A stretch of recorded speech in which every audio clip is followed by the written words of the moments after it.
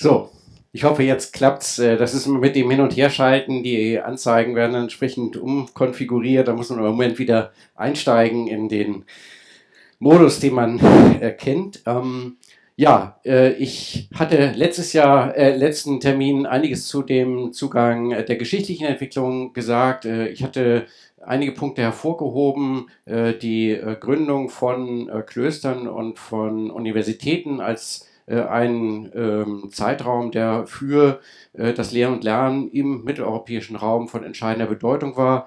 Äh, vielleicht eine kleine Korrektur zu dem, was ich letztes Mal gesagt habe, was die ältesten Universitäten angeht. Ich hatte Bologna genannt, weil das so gut passt. Es gab in Italien in Parma vorher schon eine Universität, die so ein bisschen auch als Vorläufer verstanden werden kann. Und es gab eine Universität im arabischen Raum. Also insofern, es gibt eine Vorgeschichte auch dazu. Dennoch ist Bologna, denke ich, eine der äh, der wichtigen Institution, die in der Zeit entstanden ist. Und äh, die ja bis heute, und damit hatte ich versucht, den äh, Verbindungszweig ähm, zur Gegenwart auch zu verdeutlichen, äh, bis heute ist ja der Begriff Bologna von besonderer Bedeutung auch für Sie in Ihrem Studium. Äh, ich habe versucht, über äh, diese Geschichte einige Punkte hervorzuheben, die bis heute von Bedeutung sind. Und äh, dazu angemerkt, dass es äh, in vielfacher Weise für den mitteleuropäischen und auch den deutschsprachigen Raum äh, gilt. Und das gilt vor allen Dingen für die Entwicklung sowohl des Handwerks in Deutschland und damit der beruflichen Organisation der Bildung, die eben nicht nur sozusagen aus Sach sachrationellen Begründungen entstanden ist, sondern auch aus Aspekten, die mit der äh, Funktion, der Rolle der beruflich Gebildeten und dann beruflich Tätigen, Tätigen in der Gesellschaft hat. Und das ist eben eine Nachwirkung, die wir bis heute in Deutschland erleben, dass wir diese starke Relevanz der beruflichen Orientierung der Menschen und auch der intensiven beruflichen Bildung samt beruflicher Sozialisation und Bildung einer beruflichen Identität haben. Und ein gewisses Pendant kann man, wenn man jetzt die, äh, die Spur der Universitätsentwicklung aufgreift, auch für die Wissenschaftsdisziplinen äh, annehmen. Oder zumindest könnte man da äh, anhand dieser Richtung erörtern, warum die disziplinäre Gliederung äh, des Wissenschaftssystems äh, bis heute eine so strenge Abgrenzung mit sich bringt. Äh, auf jeden Fall ist es so, dass diese Entwicklung, die in der Zeit sich stark ähm, fortgesetzt haben, auch gebildet haben, bis heute vor, fortwirkt, wie wir lernen und lernen, wie wir abgrenzen, wie wir einführen in ganz bestimmte Prozesse. Ich versuche also das, was jetzt sozusagen eine lange Geschichte ist, auf ganz bestimmte Punkte immer noch wieder auch äh, auszurichten und war ja äh, das letzte Mal bis äh, zum Einstieg in das 20. Jahrhundert äh, gelangt und da würde ich den Faden gern wieder aufnehmen, also Industrialisierung und äh, damit auch die Veränderung ähm, aus dem ähm, äh, ja auch stärker handwerklich äh, geprägten und über Manufakturen und Verlage geprägten äh, System auch der Produktion in Richtung einer industrialisierten und auf industriellen Produktionen äh, beruhenden Wirtschaft. Ähm, ich hatte die äh, Abbildung von äh, Forestier noch äh, gezeigt, also diese dann schon Entwicklung auch sowohl des Niedergangs des primären Sektors, was die Anzahl der Menschen, die in Landwirtschaft oder Bergbau oder Fischerei tätig waren, angeht, das Aufkommen des produzierenden Sektors äh, und dann auch schließlich das Aufkommen äh, des äh, Dienstleistungssektors oder des tertiären Sektors. Da knüpfe ich jetzt wieder an. Ich hatte hingewiesen auf äh, Frederick Winslow Taylor und auch Henry Ford, die beiden Namen, die verbunden sind mit einerseits der Zergliederung der Arbeit, auch der wissenschaftlich äh, begründeten Organisation von Arbeit und äh, der Fließfertigung als ein wesentliches äh, Konzept der Massenproduktion, weil wir eben zunehmend auch durch die Gesellschaften äh, eine größere Anzahl an Konsumenten haben, die tatsächlich äh, da sie ihre Arbeitskraft verkauften, äh, so möglich oder auf jeden Fall notwendig auch äh, konsumierten, neben Güter erworben und letztendlich auch ähm, in gewisser Weise ein, ein Eigentum bildeten. Hier ist also dieser Übergang, der sich dann wiederum äh, auch in der Berufsbildung, und das ist ja so mein Referenzbereich, auswirkte. Und ich steige hier wieder ein im 20. Jahrhundert und nenne neben äh, im Teller und äh, Ford auch noch äh, für die Berufsbildung so eine Größe, Georg Kerschensteiner, der als äh, auch Begründer der beruflichen Schule, der Fortbildungsschule äh, gilt in Deutschland und äh, sicherlich ein, ein äh, auch wichtiger Reformer, auch ein Modernisierer, aber auch ein Mensch in seiner Zeit. Und das, was ich gleich so äh, erläuternd kommentiere zu Kerschensteiner, zeigt, dass es doch in vielfacher Weise auch mit diesem Übergang ins 20. Jahrhundert verbunden war. Zunächst mal war eine Veränderung, dass die vorher über die Handwerke betriebene Lehrlingsausbildung für vor allen Dingen den Bedarf im industriellen Bereich nicht mehr ausreichte und deswegen eine Öffnung erfolgte ähm, so also nicht mehr der Befähigungsnachweis des Handwerks erforderlich war, sondern äh, andere ähm, Be ähm, Befähigungen oder Bestätigungen ausreichten äh, und damit die Lehrlingsausbildung in äh, eine, ja, einen neuen Rahmen gesetzt wurde. Ich greife hier übrigens wieder auf die Materialien aus den Visuba-Bänden zurück. Darauf hatte ich ja schon hingewiesen, dass die da so eine Art Fundus äh, an auch äh, Beiträgen sind. Äh, hier in diesen neu organisierten Arten der Ausbildung äh, wurden die jungen Arbeiter oder die Lehrlinge einem Arbeiter zur Hilfeleistung beigegeben und haben dann jahrelang einfach als Helfer oder als Handlanger äh, dort mitgewirkt, bis sie eben äh, möglicherweise auch Arbeiten übernehmen konnten und höchstens sag mal, durch Zufall oder durch Gewohnheit dann auch sehr typische und hier wird geschrieben, berufstypische Handgriffe erwerben können. Also nicht mehr in dieser systematischen Einführung, die im Handwerk eigentlich Tradition hatte, sondern in einer eher an die industrielle Organisation ange, ähm, äh, angepassten Weise. Äh, das führte zu einer gewissen Problematik, die auch von ähm, Pädagogen äh, kritisiert wurde, wie äh, Karl Bücher, der äh, ähm, hier zitiert wird mit ähm, einer Aussage und äh, dem Hinweis, äh, dass ein Problem entsteht, weil der Lehrherr sich gegenüber dem Lehrling nicht als Lehrer fühlt, der die Pflicht hat, den Knaben sorgsam auszubilden, sondern als Arbeitgeber, der die jugendliche Kraft äh, zu verwerten trachtet. Wie ich jetzt in den Kommentaren zu den vorhergehenden Zeiten gesagt habe, war das auch im Handwerk nicht so die rein, der reine Altruismus, äh, aber ähm, es ist hier im industriellen Rahmen also ganz äh, stark dann die Weiterentwicklung, äh, dass es gar nicht so sehr um die Bildung, die Hineinführung von Personen in das Handwerk, sondern einfach um die Vernutzung auch der Arbeitskraft, die ja letztendlich auch vertraglich erworben worden ist, äh, ging. Ja, und äh, die Industrie hat ihren Bereich äh, dann immer weiter ausgebaut, was auch die, das Heranziehen von Arbeitskräften anging, äh, sodass äh, sie sich unabhängig zu machen äh, ähm, trachtete von der handwerklichen äh, Lehrlingsausbildung. Und eine dieser ähm, Vorgänge, und das könnte sein, dass Ihnen das auch immer wieder begegnet mit Bezug auf äh, die Geschichte, war die Gründung des Deutschen Ausschusses äh, für technisches Schulwesen, also eine erste Organisation auch dessen, äh, was äh, dann äh, Bildung, Ausbildung angeht. Das ist auch etwas typisch Deutsches, dass wir hier eine sehr, sehr starke Organisation all dessen, was Bildung ist, haben. Und äh, in Deutschland geht es so weit, dass sie nur auszubilden berechtigt sind in einem rechtlich geregelten Beruf Ähnliches gilt ja, was die rechtliche und organisationale Durchdringung angeht, äh, für das allgemeinbildende Schulwesen und mit einem gewissen Abstrich auch natürlich für das hochschulische Bildungswesen. Das sind auch wiederum aus der Vergangenheit gewachsene, sehr äh, typische Strukturen, die einen hohen Einfluss haben äh, auf die Art und Weise, wie wir lehren und lernen an der Schule. Ja, und dann gibt es eben einen äh, Übergang, wo äh, Kerschensteiner äh, ins Spiel kommt. Und es ist verbunden mit einem Vorgang, der aus, auf eine Ausschreibung hin, äh, zurückgeht, äh, die ähm, in der damaligen Zeit im heute deutschen Raum äh, stattfand. Und es ging darum, äh, Vorschläge und Konzepte einzureichen, wie unsere männliche Jugend von der Entlassung aus der Volksschule bis zum Eintritt in den Heeresdienst am zweckmäßigsten für die bürgerliche Gesellschaft zu erziehen sei. Also das war sozusagen, äh, dafür sollten Vorschläge eingeliefert, äh, eingereicht werden. Und der Vorschlag von Kerschensteiner war einer, der eben großen Einfluss hatte und äh, der auch äh, erhebliche Konsequenzen hatte.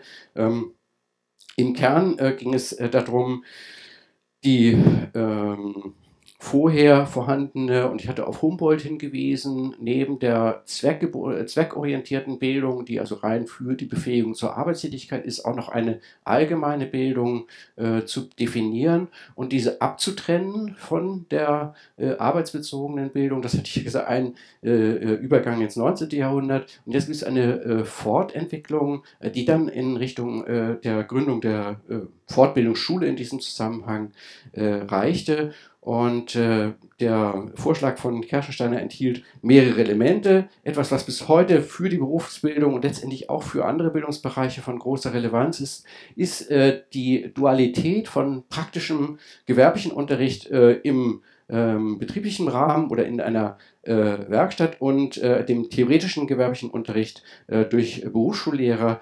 Dazu den staatsbürgerlichen Unterricht, also die äh, Vorbereitung eigentlich äh, des, ähm, des Bürgers, des, des Menschen äh, in, äh, jetzt im deutschen Raum äh, auch auf seine Rolle als Bürger, sowie ähm, dann hier Turnunterricht und Sonntagswanderungen, die damals vorgesehen waren, also eine umfassende auch ähm, äh, Ansprache der Jugendlichen, die hier einbezogen waren, äh, sowie, äh, und das ist ein Zitat, von sittlichem Ernst und vaterländischem Geist getragene Unterhaltungsabende. Äh, die Leitlinie wird hier in Wiesobar formuliert von Kerschensteiner. An der Spitze soll die Erziehung zur beruflichen Tüchtigkeit als der Beitrag der staatsbürgerlichen Erziehung stehen. Sie beruht in der konsequenten Erziehung zu fleißiger, gewissenhafter, gründlicher, sauberer Arbeit, in der stetigen Gewöhnung zu unbedingten Gehorsam und treuer Pflichterfüllung und in der autoritativen, unablässigen Anleitung zum Ausüben der Dienstgefälligkeit. Also einerseits sicherlich eine Modernisierung, eine Erweiterung, nämlich die reine sowohl theoretische wie auch praktische Ausbildung, äh, um staatsbürgerliche und allgemein personenbezogene Bildung zu erweitern, aber doch hier eine sehr starke Orientierung an sozusagen diese Unterhal äh, Untertanrolle, äh, die auch in der damaligen Zeit äh, Staatsdoktrin in gewisser Weise war. Ja, jetzt kann man natürlich aus dieser Zeit einiges an äh, Fortentwicklungen, äh, was Deutschland angeht, ableiten. Das ist bestimmt nicht so zwingend möglich. Ich mache jetzt einen gewissen Sprung äh, in die Zeit, die, meine ich, für Deutschland äh, eine entscheidende natürlich ist, ähm, nämlich äh, die Zeit von 1933 bis 1945. Es hat hier einige Übergänge gegeben. Kerschensteiner wird sozusagen mit seinem Ansatz, und das war ein Ansatz, der in der Breite sich ausgewirkt hat und vertreten wurde, in der, im ersten Viertel ähm, des 20. Jahrhunderts stark ausgewirkt und dann kommt eben der Übergang äh, in äh, die Zeit des Faschismus. Da ist eine Frage, die sich sowohl die Bildung äh, als auch die Berufsbildung äh, explizit stellen muss und äh, in gewisser Weise auch gestellt hat. Also es gibt hier diverse Untersuchungen, Unterlagen auch zu der Rolle der Funktion von Bildung, Berufsbildung äh, im Nationalsozialismus. Ich kann hier nur auf ganz wenige Punkte hinweisen. Ähm, etwas, was vielleicht aus dem Zitat eben auch hervorgegangen ist. Es war eben kein Unfall der Geschichte äh, in der äh, Untersuchung aus wissenschaftlicher Perspektive, sondern eine gewisse entstehende äh, Linie, äh, die hier auch ähm, das Militärische, äh, das Massenhafte ähm, enthält und eben das äh, Zucht und Untertan und äh, absolute Gehorsam. Dazu gehören auch Pünktlichkeit, all diese Elemente, die genannt sind äh, und das sich in äh, sozusagen in Gleichschritt äh, bewegen und ähm, äh, diese äh, ähm, menschliche Rolle als Bestandteil einer Masse zu verstehen, die in gewisser Weise auch in den äh, Faschismus mit hineingeführt hat und in die Mobilisierung äh, der deutschen Bevölkerung für die Ziele, äh, die äh, dann letztendlich bis in den Untergang geführt haben. Ähm, man kann, äh, was die Art, äh, Arbeit äh, durchzuführen angeht, auch verschiedene Entwicklungen hier nachvollziehen, die sozusagen eine, ja, eine Gesamtheit der Veränderungen zeigen. Dass also neben äh, der Orientierung der Ziele für die Bildung der Einzelnen und der Kohorten, also der Jugendlichen unterschiedlichen Alters oder auch der Erwachsenen angeht, bis hin in die Art, wie Arbeit organisiert ist. Auch dazu gibt es verschiedene Untersuchungen. Ähm, es hat auf jeden Fall eine Art Rationalisierung der Arbeit auch stattgefunden, die in gewisser Weise auch eine Modernisierung bedeutete. Also die Modernisierung kann eben auch in den Untergang führen. Es kann Arbeit sowohl produktiv wie destruktiv sein. Und die Zeit äh, des Faschismus ist vielleicht äh, das lehrreichste Beispiel dafür, äh, wie Arbeit in die Destruktion und in die Zerstörung führen kann. Ähm, hier werden in ähm, der äh, Arbeit von Kaiser äh, drei Punkte hervorgehoben, es fand eine Reduktion der Typenvielfalt statt, die eigentlich vorher gewachsen noch vorhanden war. Übrigens, wenn man Geschichte zurückgreift, gab es lange äh, noch eine Zeit, wo jede Mutter nur ein, auf eine Art von Schraube passte und es also keine Standardisierung gab. Hier gab es eine ganz starke äh, äh Entwicklung auch. Ähm, Typenvielfalt zu reduzieren äh, und eben auch Wiederholkonstruktionen nutzbar zu machen, die Konstruktionen zu vereinfachen äh, und äh, die ähm, Wirtschaft äh, hat sich stärker national organisiert und abgestimmt, äh, eben in Vorbereitung eigentlich einer Kriegswirtschaft. Hier nur, da kann man jetzt vieles dazu sagen, äh, eine ähm, Übersicht, eine Tabelle, die auch aus den Visubar-Bänden stammt, die zeigt eben die äh, Veränderung äh, der ähm, für die Produktion, äh, für den Kriegsbedarf eingesetzten äh, Teil der Arbeitskräfte im Industriesektor, die also von 22 Prozent 1939 auf über 60 Prozent 1943 anstieg, also eine komplette Ausrichtung all dessen, was Menschen ge ge gearbeitet haben und letztendlich auch äh, zu wem sie äh, beruflich äh, befähigt waren, äh, auf den Krieg und äh, letztendlich hier äh, als dann den Punkt, auf den das zulief, das Symbol der, äh, ähm, der Anblick von Auschwitz äh, mit dem zynischen Spruch Arbeit macht frei und damit sicherlich auch ein Untergang all dessen, was deutsche Kultur angeht. Also Holocaust und Weltkrieg waren letztendlich Zielpunkte, auf die sich auch Bildung und auch Arbeitstätigkeit ausgerichtet hat. Für ähm, Wissenschaft und äh, letztendlich auch Pädagogik und Berufspädagogik äh, konnte es äh, anschließend keinen äh, einfach äh, wieder aufnehmen oder weitergehen angehen. So, es gibt hier einen Umbruch und Sie werden auch, wenn Sie in die Geschichte hineingucken, in der Literatur, in der Beschäftigung mit dem, was äh, vorher war, diesen Umbruch immer wieder feststellen. Es war jetzt zuerst so, dass in der Zeit nach dem ähm, Ende des Weltkriegs ähm, ähm, ein, zwar eine Erörterung in einigen Bereichen, aber doch im Wesentlichen eine gewisses, ein gewisses Ignorieren eigentlich der notwendigen Beschäftigung äh, mit, dem, mit den Gründen für den Untergang ähm, äh, erfolgte und man sich sehr konzentriert hat in der ersten Zeit auf äh, den Wiederaufbau, den Neubeginn äh, in Deutschland, äh, im Grunde zunächst mal ignoriert hat, was eigentlich die Lehren der Zeit davor angeht und äh, Rationalisierung, Automatisierung, wenn Sie auf die Entwicklung von äh, Arbeitstätigkeit äh, guckten, die äh, Hauptvorgänge waren. Zu fragen wäre, welche Prinzipien der Arbeit prägten die Entwicklung der Nachkriegszeit und wie wirkten sich diese in der Bildung aus? Äh, hier auch einige äh, thesenhafte Punkte. Ich springe da jetzt heute auch relativ schnell durch diese Zeiten mit dem Angebot oder mit der Anregung an Sie, sich da vielleicht nochmal auch genauer äh, zu belesen oder damit zu beschäftigen. Es gibt zunächst eine Konzentration auf die Schaffung von Arbeitsplätzen und dann wiederum auch das Anknüpfen an die Massenproduktion, einfach auch aus den äh, Trümmern letztendlich, die äh, dann in, den, in, der zweiten Hälfte der 40er Jahre äh, nur noch vorhanden sind dabei äh, für die Menschen äh, wieder erneut auch eine Akzeptanz belastender Arbeitsbedingungen, äh, die zum Teil auch schädigend waren. Also man hat einfach als normal angenommen, dass Arbeit einen schädigt und einen kaputt macht und dass man schon in einer mittleren Phase auch des Erwerbslebens durchaus von der Arbeit stark beeinträchtigt ist, kaum jemand sozusagen das Ruhestandalter erreicht. Es gab äh, dann schon eine Anreicherung der Produkte mit elektrischen Komponenten. Also das, was wir heute unter Digitalisierung diskutieren, äh, hat, äh, was die Elektroelemente angeht, äh, auch schon in dieser Zeit einen, Beginn. Und eben auch die erste Einführung computerbasierter äh, Technologien. Das Berufsbildungswesen wurde in Deutschland mit dem Schwerpunkt auf dem dualen System äh, dann aufgebaut. Das heißt, diese für bis heute relevante Tätigkeit von äh, Schulen und vor allen Dingen Einbeziehung äh, der Wirtschaft, der Betriebe in die Berufsbildung, also die Übernahme von Verantwortlichkeit auf Seiten der Unternehmen und das eben sowohl Handwerk wie auch Industrie, äh, wie auch dann zunehmend äh, Dienstleistungsbetriebe. Ja, ich habe jetzt hier so ein paar äh, Abbildungen, was die also diese 50er, 60er Jahre äh, markieren. Wir haben hier wieder in den Tätigkeiten äh, eine Art äh, Möglichmachung von Massenproduktion, weil es eben dort einen massenhaften auch ähm, Konsumentenmarkt äh, zunehmend gab.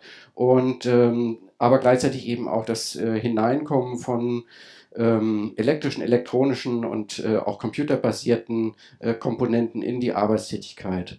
Was für die Organisation von Arbeit in dieser Zeit prägend war, ist eine ganz starke äh, Zergliederung der Arbeit im Sinne des Taylorismus, also die, den Stichwort, das ich äh, auch als markant für das 20. Jahrhundert benannt habe, finden Sie hier eine Bindung des Menschen an die Maschine und eine äh, Reihung wiederum der Arbeitsplätze über die Technologie. Also die Maschinen wurden aneinander äh, organisiert und die Menschen den äh, Maschinen äh, zugeordnet. Ähm, dazu gibt es eine Reihe von Untersuchungen. Es gibt also eine Fülle von wissenschaftlichen Arbeiten in der damaligen Zeit, die sich mit der Frage, wie rationalisieren wir, wie untersuchen wir Arbeit, wie optimieren wir sie für ganz bestimmte äh, Aufgaben und ganz bestimmte Produkte. Das war der Kern der damaligen Zeit. Man hat sich relativ wenig damit beschäftigt, äh, was also Anliegen des Menschlichen angeht, äh, was das, was vorher diskutiert war, äh, der Bürger äh, auch äh, an de, am Arbeitsplatz ähm, ähm, an Ansprüchen haben könnte. Und das gleiche gilt also auch für in gewisser Weise äh, Büroumgebung. Es gibt sehr viel weniger Arbeiten über Bürotätigkeit im Vergleich zu dem, was es an Arbeiten über Produktionstätigkeit gibt. Aber man kann einen gewissen ähnlichen äh, Verlauf äh, annehmen, wenn man die äh, Untersuchungen zu der damaligen Zeit äh, betrachtet. Also hier ein Schreibbüro ist ein bisschen anders als das Bild, was ich letztes Mal gezeigt habe aus der Zeit des Weimarer Republiks, äh, der Weimarer Republik. Ähm, und äh, es gibt auch eine gewisse äh, Entwicklung in Richtung der Vereinzelung wiederum der Arbeitstätigkeit und der Bindung an die Aufgabe. Äh, das hier ist allerdings äh, aus einem Film äh, mit äh, Jacques Tati, aber ich, ich, nenne das immer so den, die Rückkehr zum Einzeller. Äh, es ist eine ganz starke Trennung der Menschen in der damaligen Zeit und Bindung an ihre Arbeit, an ihre Technologie, ihre Maschinerie, die also hier sicherlich ähm, überspitzt äh, dargestellt ist. Aber Sie können durchaus äh, Arbeitsumgebung auch im Bürobereich in der damaligen Zeit sich äh, vorstellen, dass es diese ganz starke Bindung des Menschen an seinen Arbeitsplatz und an seine Arbeitstechnologie gab und die Verbindung zwischen den äh, einzelnen Bereichen über die Technologie gesteuert war und nicht über äh, das gemeinsame Arbeiten der Menschen. Ja, und dann, wenn Sie äh, die Zeit in Deutschland betrachten, äh, folgt eine Phase, in der äh, diejenigen, die sich auch vorher schon mit der Aufarbeitung dessen, was Lehren aus äh, dem Dritten Reich und dem Faschismus angeht, sich stärker ähm, haben bemerkbar machen können und es auch als ein Bedarf aus der Gesellschaft stärker aufkam, jetzt nicht nur sozusagen für die Arbeit da zu sein, nicht nur für den Ausschwung da zu sein, sondern selber auch Anrechte hab, äh, zu haben und ähm, Sie werden damit sicherlich auch verbinden, äh, die 68er-Generation, äh, den Regierungswechsel, der in Richtung auch einer Reformphase ging und äh, der die Zeit von 1968 bis 1980 gewisserweise prägte. Ähm, sie werden in der Zeit als Ziele von Bildung und damit auch als Gegenstand von Unterricht Begriffe wie Emanzipation, Selbstentfaltung und äh, bezogen auf die Arbeit Begriffe wie die Humanisierung der Arbeit finden. Das waren äh, große politische Bewegungen, die zunächst mal davon ausgingen, dass äh, Arbeit eigentlich nicht schädigend sein sollte. Also das äh, muss man sich in gewisser Weise äh, vorstellen, dass in der damaligen Zeit der Anspruch, dass Arbeit nicht schädigend ist, äh, zunächst mal überhaupt erhoben werden musste und äh, dann sich in einer ganzen Reihe von äh, Reformbewegungen auch äh, gezeigt hat. Ja, und die Humanisierung der Arbeit ähm, hat natürlich eine Fülle von Auseinandersetzungen äh, mit sich gebracht. Sie hat sich auch bezogen darauf, dass neben der Schädigungsfreiheit von Arbeit auch ein Anspruch ist, äh, als Bürger seine Rechte und seine äh, Überzeugung nicht am Werkstor abzugeben, sondern durchaus auch innerhalb äh, der Arbeitstätigkeit äh, mitbestimmen zu können, mit als Mensch äh, anerkannt äh, ähm, werden zu müssen und es hat hier, das ist vielleicht das Symbol wiederum, was, oder der, der, die Konsequenz, die äh, in Deutschland sehr markant ist, eine Reihe von rechtlichen Regelungen, von Verträgen, von Vereinbarungen, von organisationalen Formalisierungen gegeben. Drei Punkte hier, äh, die äh, hervorgehoben werden können, die auch in den Visubar-Bändern hervorgehoben werden. Äh, die Mitbestimmung als für bestimmte Bereiche der Wirtschaft, ähm, relevante äh, Vereinbarung zwischen Arbeitgeber und Arbeitnehmerseite, die bedeutet, dass es zu der Arbeitstätigkeit auch gehört, in gewisser Weise sich verantwortlich zu fühlen für das, was man selber tut. Das ist ein neuer Begriff und der ist auch für die äh, Art und Weise, wie wir heute lernen und lernen oder lernen und lernen wollen, ein ganz wesentlicher Übergang. Das ist also nicht mehr nur um die sachliche und rationale Einführung in eine Tätigkeit geht, sondern auch äh, die Entwicklung des Menschen in eine Position, wo man Verantwortung übernehmen kann, sich verantwortlich fühlt und auch die Kompetenz besitzt, äh, verantwortlich äh, die eigene Arbeit äh, zu gestalten und in einen betrieblichen Rahmen einzuführen. Ein zweiter Punkt äh, ist die menschengerechte Gestaltung der Arbeit. Das heißt oft eine Veränderung der Arbeit nicht nur wegen der sachlichen Aufgabe, die zu erledigen ist, oder wegen der Aufgabe der Produktion, sondern auch damit sie in einer menschengerechten Weise getan werden kann. Also die Berücksichtigung in die Organisation der Arbeit hinein äh, der menschlichen Ansprüche. Und damit wenden wir uns in einer gewissen Weise vom terroristischen Ideal ab, weil eben das erste Mal auch eine nicht rein aus der Arbeitsaufgabe entstehende äh, Anspruchskategorie in die Gestaltung der Arbeit hier mit hineinkommt. Ja, und dann als ein ganz wesentlicher äh, Übergang für äh, die Berufsbildung in Deutschland, äh, die äh, Formulierung und auch der Erlass des äh, Berufsbildungsgesetzes. Da gibt es ja immer wieder auch Erweiterungen, Veränderungen dieses Gesetzes, aber es ist in der damaligen Zeit ähm, zum ersten Mal äh, in Deutschland äh, erlassen worden äh, und hat äh, die äh, öffentliche Verantwortung für die Bildung, die berufliche Bildung äh, definiert. Es hat definiert die Rolle der zuständigen Stellen und das klingt so ein bisschen merkwürdig, ist auch was typisch Deutsches. Die zuständigen Stellen sind die Kammern, die, also die Industrie- und Handelskammern, die Handwerkskammern, die Landwirtschaftskammern, äh, die eben wesentliche Aufgaben der Selbstverantwortung der Wirtschaft und der Wirtschaft heißt eben sowohl äh, die Unternehmen als auch die Arbeitskräfte, sowohl die Arbeitgeberverbände als auch die Gewerkschaften, äh, die über die äh, zuständige Stelle die Selbstverwaltung der Wirtschaft organisieren.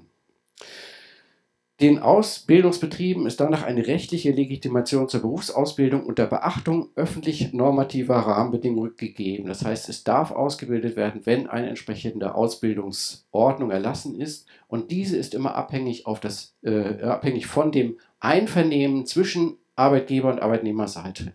Das ist auch etwas, was ausschließlich in Deutschland wahrscheinlich in dieser Form äh, so organisiert ist, dass ein Einvernehmen zwischen den Tarifparteien, die eigentlich ja sich doch sehr oft auch gegenüberstehen, erreicht werden muss, eh eine Regelung erreicht werden kann und wiederum nur ausgebildet werden darf, wenn eine solche Regelung vorhanden ist. Also diese seit derzeit auch ja schon eine gewisse Tradition äh, gewordene ähm, äh, ähm, äh, diese Erfordernis äh, zum Kompromiss, zur sich Einigung, zum gemeinsamen Lösungsfinden ist in die damalige Zeit auch zurückzuführen. Ja, und dann kommt etwas stärker auf, was wir ähm, schon vorher, ich hatte schon angesprochen, die wiederum stärker technikbezogene Entwicklung. Und Sie können vielleicht, ich habe der Nachkriegszeit eine gewisse Rationalisierungs- und, und Wiederaufbau-Ideologie hier unterstellt, danach eine Abwendung stärker oder eine Umwendung, den Menschen äh, stärker zu beachten und menschlichen Anforderungen gerecht zu werden, um auch die Menschen als mitverantwortende äh, Arbeitskräfte einzubeziehen. Und dann kam sozusagen wieder eine Wende, und das kann man sagen, das ist auch so eine Art Konjunktur der Entwicklung, äh, der stärker wieder Technologie äh, bestimmten Entwicklungen äh, und vielleicht hier äh, zu bezeichnen mit dem Begriff der Computerintegration. Äh, Computer Integrated Manufacturing war damals so ein ZIM, wusste jeder, was ZIM ist, äh, war damals so ein, so ein Schlagwort und eben auch die vollautomatisierten Arbeitssysteme. Eine Leitfrage, die man zu dieser Zeit stellen kann, wie wirkte sich die Diffusion der Mikroelektronik und der Computertechnik im Bereich der Bildung und der beruflichen Arbeit aus? Wir hatten äh, die Ausbildung, die als Beispiel vorher zum Dreher ähm, äh, oder zum, ähm, zu anderen metallverarbeitenden äh, Berufen äh, vorhanden war, zum Fräser in Richtung der Bedienung von computergesteuerten Maschinen, CNC-Bearbeitungszentren. Das geht auf diese Zeit äh, zurück. Da gibt es auch eine Fülle von Arbeiten. Ja, und es gibt eben eine Diffusion, also eine Durchdringung aller Tätigkeiten äh, mit Computertechnologie, die in dieser Zeit einen sehr starken äh, Schub erlebt hatte in fast alle Arbeitssysteme. Es gibt Untersuchungen des Instituts für Arbeitsmarkt und Berufsforschung. Das ist das äh, Forschungsinstitut, die Forschungseinrichtung der Arbeitsagentur, also damals des Arbeitsamtes. Und äh, dieses äh, Institut begleitet über die Jahrzehnte immer wieder Entwicklungen, Veränderungen am Arbeitsmarkt. Äh, diese Untersuchung sagt, dass in der frühen äh, Zeit der 1990er Jahre nahezu alle Arbeitsplätze in Deutschland schon in irgendeiner Weise mit äh, Computertechnologie äh, in Berührung waren. Also es gab hier eine sehr starke Durchdringung aller Arbeitstätigkeiten durch Computerkomponenten. Sie wurden, äh, hier sind einige Punkte genannt, verwendet, um Steuerungsprozeduren für feste Arbeitsfolgen vom Menschen auf die Maschine zu übertragen, einzelne Informations- äh, Elemente in den Maschinen zu verwenden, die man zum Beispiel eben über die CNC-Programmierung auch ähm, ansprechen kann. Ähm, man kann sogar eine Übertragung selbst der Steuerungsfunktionen an Computer in die damalige Zeit verlegen. Die äh, Informations- und kommunikationstechnische Verbindung der Maschinen mit einer Zentrale, also ein betriebliches Gesamtsystem, was computerbasiert äh, gesteuert war, äh, wurde entwickelt und ähm, die Technologien wurden untereinander verkoppelt.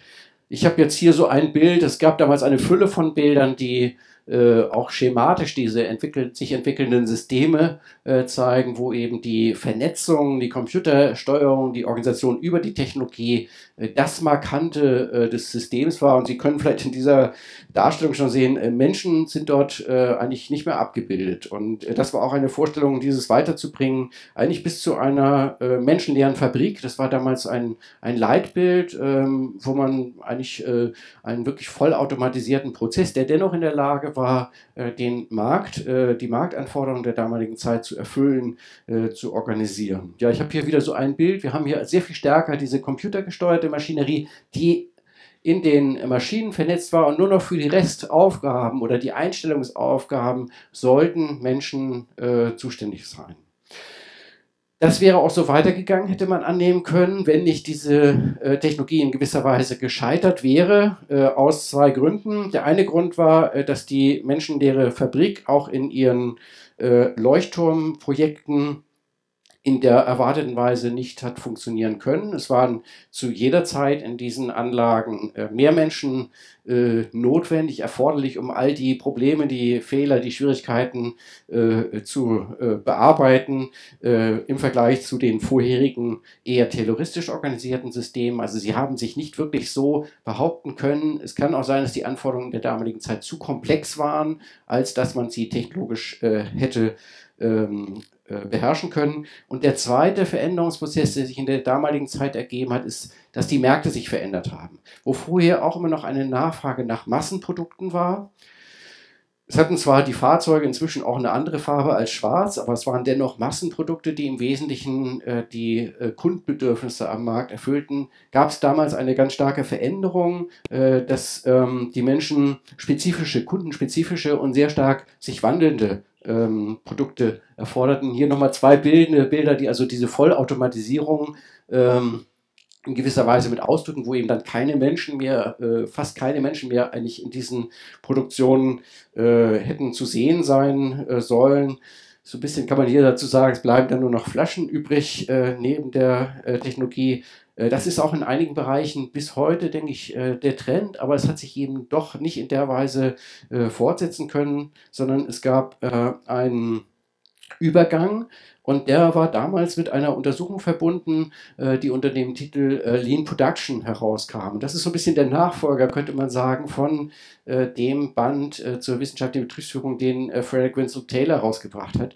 Es gab hier eine Untersuchung, die ähm, sich damit beschäftigt hat, welche Unternehmen eigentlich erfolgreich am Markt sind. Und man hat damals festgestellt, dass bei diesen Untersuchungen herauskam, es sind nicht mehr die terroristisch organisierten Unternehmen, die große Erfolge haben, sondern es sind die, die sich auf neue Weise organisieren. Und ein ganz wesentlicher Teil dieser neuen Weise war, dass sie sich in äh, eigenverantwortlichen, dezentralisierten Einheiten organisiert haben. Eher menschliche Teams wieder äh, ähm, genutzt haben, um sehr flexibel mit ganz unterschiedlichen Anforderungen von Kunden umzugehen, sehr schnell Innovationen aufnehmen zu können. Und es hat sich einfach in der Untersuchung gezeigt, dass diese Unternehmen erfolgreicher waren. Und sie haben sozusagen abgelöst die Unternehmen, die auf Massenproduktion ausgerichtet waren. Und sie haben die, die massenproduktionsbezogen sich organisiert haben, genötigt, sich zu verändern. Es hat damals einen breiten Trend gegeben, Arbeit selber zu verändern in Richtung der Dezentralisierung, in Richtung der Gruppenarbeit und natürlich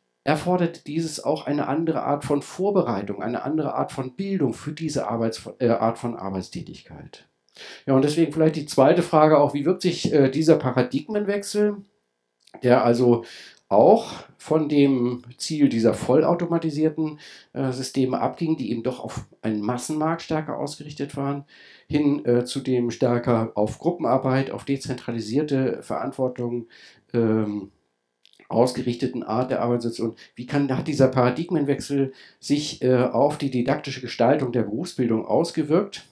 Ja, und da greife ich noch wieder auf das Bild zurück, was ich so äh, als sehr schematische Darstellung, um den Terrorismus äh, zu ähm, beschreiben, äh, verwendet habe, nämlich die Zergliederung der Arbeit in vertikaler und horizontaler Weise.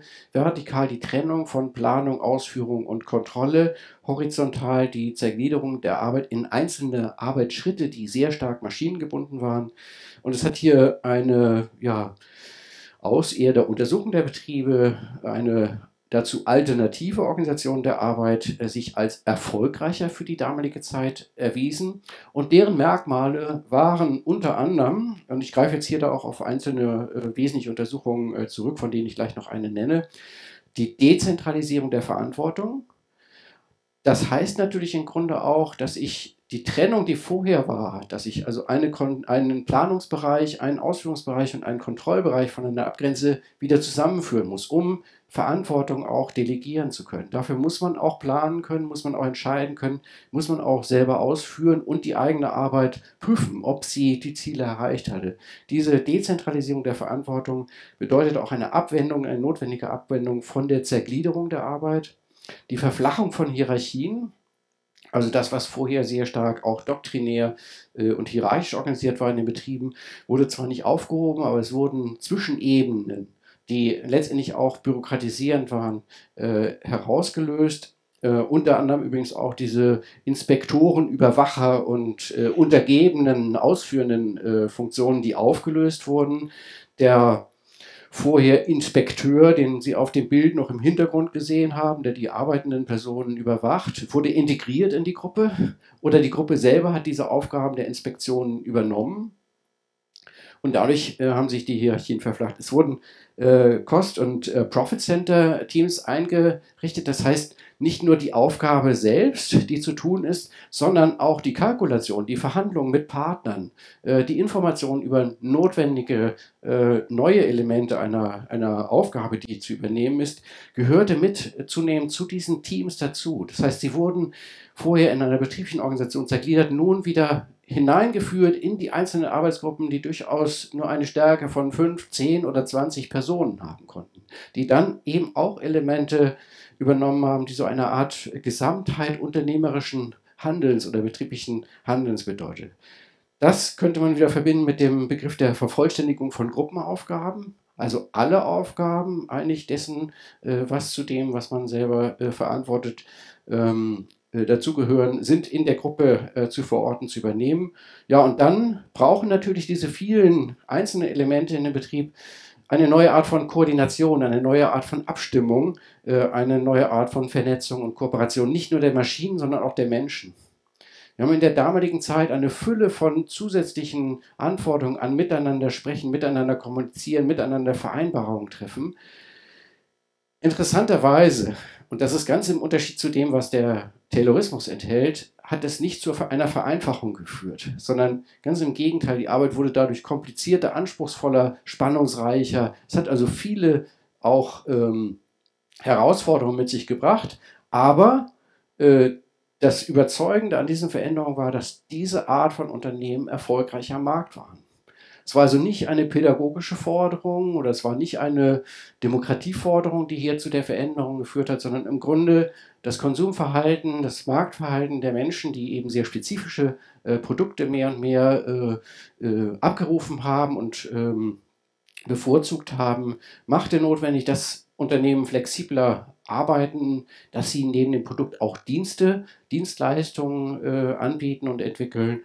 Und äh, diese Frage, des, wer ist erfolgreicher Markt, hat eigentlich dazu geführt, dass eben diese Art von Organisation der Arbeit ähm, erfolgreich war. Und ein, ähm, eine Veröffentlichung, die äh, in Deutschland dafür steht, äh, auf die möchte ich hinweisen, produzieren im 21. Jahrhundert, damals herausgegeben von einem Expertenkreis und hier die Autoren äh, Burkhard Lutz, äh, Matthias Hartmann, Hartmut äh, Hirsch-Kreinsen genannt als äh, diejenigen, die diese Veröffentlichung rausgebracht haben, die mit dem Blick auf die Produktion des 21. Jahrhunderts fünf äh, Aspekte hervorgehoben haben, nämlich die dezentrale Organisation, äh, wie gerade beschrieben, mit gestiegener Verantwortung vor Ort.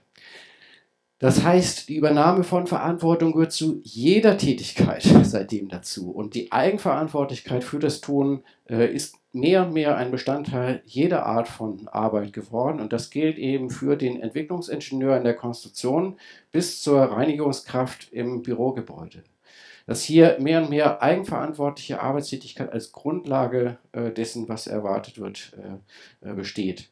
Die Verbesserung der Kooperation zwischen Unternehmensbereichen, das heißt auch innerhalb der Unternehmen, einen Teil der Arbeitsleistung damit zu verbringen, sich abzustimmen mit anderen. Es ist eben nicht mehr, dass da eine übergeordnete Instanz äh, zuständig war, äh, die ähm, verschiedenen Bereiche miteinander äh, zu verknüpfen, sondern das war ein Element äh, der Arbeitsleistung selbst.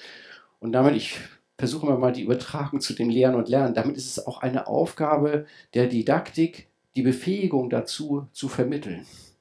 Und das auch im Rahmen des Lehren und Lernens zu thematisieren. Wie kooperieren wir? Wie arbeiten wir zusammen? Nicht deswegen, weil es leichter ist, es ist oftmals schwieriger, anspruchsvoller, als wenn ich eine hierarchische Organisation habe, wo Befehle ausgeführt werden und Anweisungen ausgeführt werden. Äh, aber weil eben diese Art von äh, Arbeit und von beruflicher Tätigkeit erfordert, dass man sich miteinander abstimmt, dass man kooperiert, dass man Konflikte und Gegensätze auch löst und äh, dennoch weiterkommt. Die Ausschöpfung der Potenziale der Mitarbeiter und da äh, ist ein Punkt, der vielleicht auch ein bisschen die heutige Zeit äh, eine gewisse Brisanz mit sich bringt. Man hat festgestellt, dass man vorher nur einen ganz kleinen Teil dessen, was die Menschen können, nutzbar gemacht hat. Zum Beispiel nur eine Handfertigkeit oder vielleicht nur eine bestimmte erlernte und immer wieder wiederholte Befähigung. Und dass man damit einen großen Teil dessen, was der Mensch eigentlich leisten kann, äh, vergeudet oder eben nicht abruft. Und diese Art von Arbeit, wie sie organisiert wurde, strebte an, wirklich den Menschen als Ganzen nutzbar zu machen im Sinne der Arbeitstätigkeit. Das ist erstmal auch berufspädagogisch ein Fortschritt, weil diese Reduktion, die man vorher hatte, natürlich auch nachteilig äh, für den Menschen einzuschätzen ist. Die vollständige Ausschöpfung geht aber vielleicht auch über das hinaus, was man tatsächlich über den Arbeitsvertrag mit verkaufen möchte. Es war eben zunehmend so, dass man auch die äh, Verantwortung, die man in der Arbeit übernommen hat, mit in seine Freizeit genommen hat und am Wochenende darüber nachgedacht hat, was einem auf der Arbeit gerade an Anforderungen geschieht. In der heutigen Zeit, dass man eben immer und überall erreichbar ist. Das ist ja inzwischen etwas, was mehr und mehr ähm, äh, typisch für Arbeit geworden ist. Die Entgrenzung der Arbeit, also das Ineinanderfließen von Arbeitszeit und Freizeit, das sind Phänomene, die auch aus äh, diesen Entwicklungen hervorgegangen sind. Das Wirtschaften in Kreisläufen klingt vielleicht heute schon ein bisschen komisch, aber das, was man heute mit dem Begriff der Nachhaltigkeit und der Zuständigkeit nicht nur für dies in die Welt bringen von einem Produkt, sondern auch äh, das Recycling, äh, das war ein Vorgang, der sich äh, zu der damaligen Zeit als äh, wesentlich mit herausgestellt hat. Ja, und dann äh, der Punkt der Globalisierung der Produktionsstrategie und die Globalisierung heißt eben nicht nur, dass man mit einem Produkt weltweit überall funktionsfähig und präsent sein muss, sondern dass auch weltweite Produkte bis in jedes äh, Schwarzwalddorf oder jedes Dorf der Schwäbischen Alb oder auch in Wüstengebiete äh, in, in, in Nordafrika vordringt. Und dass wir diese wechselseitige Durchdringung, also die weltweite Bedeutung, aber auch das diesem äh, ausgesetzt sein als ein äh, Trend äh, dieser Übergangsphase erleben. Übrigens nicht so, dass auch hier die Wissenschaftler das gefordert haben, so etwas wie die Konnotation zu äh, Taylor, der ja sehr stark ein, ein Konzept ins Spiel gebracht hat, äh, das als Vorbild galt, sondern hier eher aus der Untersuchung heraus die Analyse, was kennzeichnet denn im Augenblick erfolgreiche Unternehmen? Also man hat sozusagen einen phänomenologischen Ansatz gewählt, um zu beschreiben, was sind die Merkmale derjenigen, die mit den gegenwärtigen Herausforderungen besonders ähm, gut umgehen können. Und damit ist auch die Annahme aus der Wissenschaft, dass es eine gewisse Eigendynamik äh, gibt der Entwicklung, die zwar wissenschaftlich zu erkunden ist, aber dennoch nicht unbedingt wissenschaftlich geprägt und gesteuert oder auf indirekte Weise wissenschaftlich äh, geprägt und äh, gesteuert, nämlich durch die Diffusion wissenschaftlicher Elemente in die Arbeit, aber nicht sozusagen hier äh, in erster Linie Leitbild getrieben. Deswegen ist es nach äh, gewisser Einschätzung auch nicht ein paradigmengetriebener Wechsel, obwohl es ein Paradigmenwechsel war. Deswegen hat man auch bis heute keinen richtigen Begriff dafür. Was ist eigentlich die neue Zeit? Man nennt es oft neue Formen der Arbeitsgestaltung, neue Formen der Arbeitsorganisation. Aber ein Begriff wie Taylorismus, äh, der fürs 20. Jahrhundert ganz stark prägend war, äh, hat man bis heute nicht gefunden. Ähm, was Sie hier äh, dann, wenn wir das gleiche Schaubild, Schaubild ähm, äh, weiterführen, was ich ja sozusagen aus dem Ende des 19. Jahrhunderts äh, angefangen ähm, hier ähm, zur Darstellung nutze, äh, haben wir stärker eine Organisation in äh, Teams, was nicht heißt, dass äh, die Menschen im Team sich von der Technologie äh, gelöst haben, sondern in der dann weiterhin vernetzten Technologie wurde die menschliche Komponente wieder stärker auch als eine qualifizierte und nicht als eine Restkomponente äh, mit äh, eingefügt. Also der umfassend in seinen ganzen Fähigkeiten, sowohl seiner handwerklichen, motorischen wie auch seiner geistigen äh, Möglichkeiten, wurde hier hineingenommen und äh, eben in äh, direkter Kooperation mit computergesteuerten Maschinen, die vernetzt sind, äh, ähm, ja, als Team und auch als äh, technisches Netzwerk äh, nutzbar gemacht und äh, organisiert. Und das wiederum in einer dezentralen Verantwortung. Es führte dazu, dass wir auch in der Bildung eine, eine Vervollständigung eigentlich dessen haben, äh, was äh, Ziel und Gegenstand der Bildung war. Ja, hier vielleicht so auch ein, zwei Eindrücke aus. Ähm, dann Produktion, das ist jetzt hier auch in, im Bereich, meine ich, der Automobilindustrie eine Produktion, wo sie eben Fachkräfte sehen, überwiegend Fachkräfte, die äh, im Vergleich zu vorher hier erforderlich sind, weil sie eben hochkomplexe Technologien äh, äh, bedienen und ähm, ähm, steuern und eben sehr anspruchsvolle und komplexe Technologien wiederum, die miteinander vernetzt sind. Andere äh, Bereiche, das ist jetzt hier ein bisschen dunkel, aber die sind äh, in der Zeit untergegangen.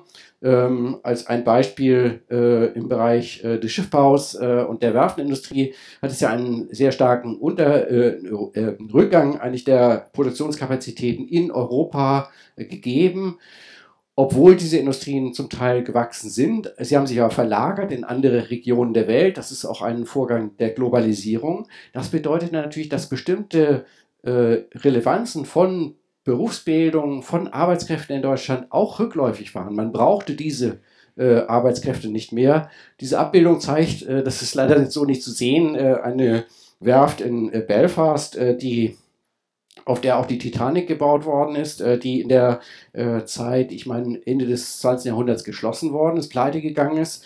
Und ich war interessanterweise zu der damaligen Zeit in Belfast und äh, habe in der gleichen Zeit eine andere Einrichtung besucht. Äh, in, in dieser Werft gingen ungefähr 2500 Arbeitsplätze verloren durch die äh, Einstellung äh, der äh, Tätigkeit und das ist dort wirklich so, dass es von einem Tag zum anderen äh, beendet wird, die Arbeit, äh, weil man nicht äh, das sozusagen schrumpfen kann. Ein Produkt wie ein Schiff äh, bedarf einer gewissen Mindestorganisation. In der gleichen Zeit ist dort eine andere Art von Wirtschaft aufgebaut und ich aufgebaut worden. Ich war dort deswegen dort und das war ein Callcenter und das hatte zu der damaligen Zeit auch schon ungefähr 2000 Mitarbeiter. Und das ist hier zwar nicht genau aus diesem äh, Callcenter, aber das ist sozusagen die andere Art von Arbeit, die damals sehr stark aufkam äh, und ähm, die natürlich nicht letztendlich die gleiche Art von Personen beschäftigte wie in den Werften. Das heißt, die Kollegen aus den Werften sind dann nicht in die Callcenter gewechselt, sondern es hat dort auch einen äh, Wandel der Arten äh, der Menschen gegeben, äh, die äh, für Arbeit gesucht wurden. Und eben dieses, diese Tätigkeit des Callcenter Agent, das war damals ein sehr stark wachsender Bereich, äh, der auch eine eigene Expertise mit sich brachte.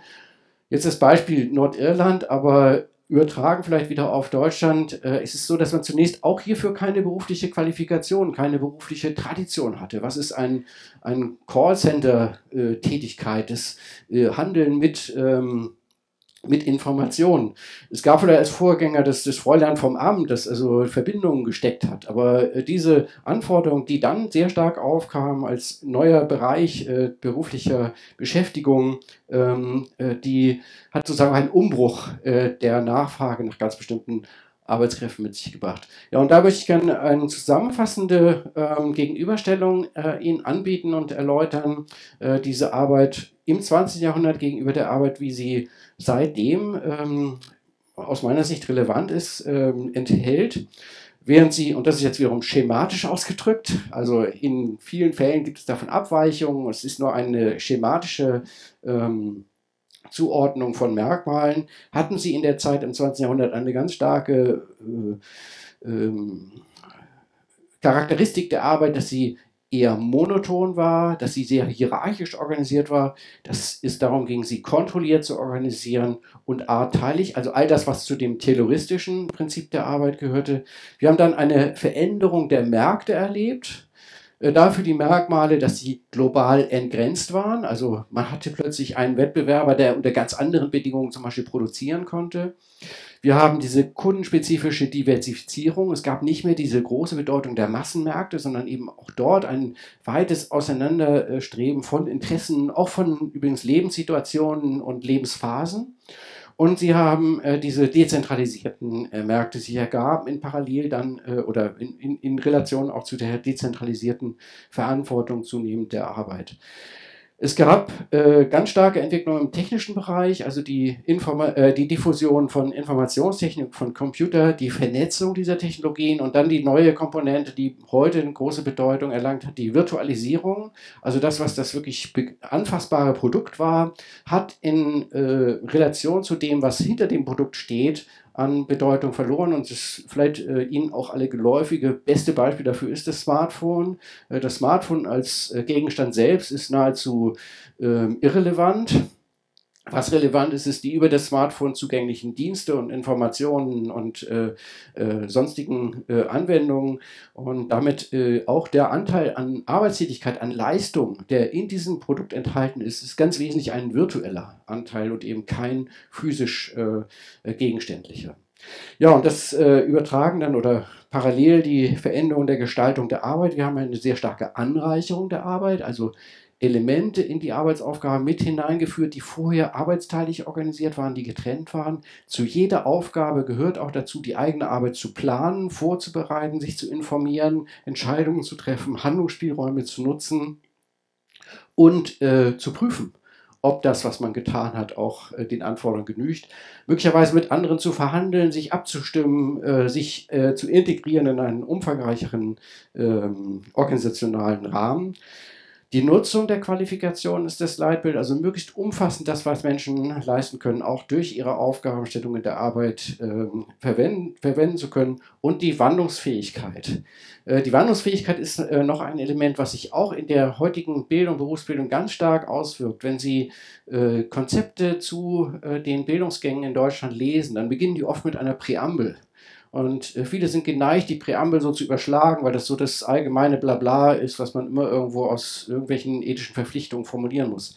Äh, seit dieser Zeit ist es aber so, dass die Präambel das das Wesentliche ist. Und die Präambel sagt häufig, dass es bei den Inhalten, die danach folgend aufgelistet wird, nur um Beispiele geht, die deswegen zum Gegenstand von Bildung gemacht werden, damit sie den Menschen ermächtigen, später mit den immer wieder neuen Veränderungen zurechtzukommen und sich auch flexibel auf immer wieder neue Bedingungen und Aufgabenstellungen einzustellen. Also ist eigentlich die Bildung vermehrt äh, eine ein, ein Vorgang geworden, der einen in die Lage versetzen soll, immer wieder weiterzulernen das lebenslange Lernen, das wäre so ein Leitbild, auch was sich daraus ergeben hat, äh, ist eben eine Notwendigkeit, die aus der schnellen Veränderung im Bereich der Wirtschaft und der Märkte äh, und auch der Techniken sich ergeben. Ja, und dann äh, kann man vielleicht auch wiederum jetzt sehr schematisch die angestrebte Arbeit und damit das Ziel eigentlich dessen auch, was Bildung mit Arbeits- und Berufsbezug angeht, mit den Begriffen Flexibilität,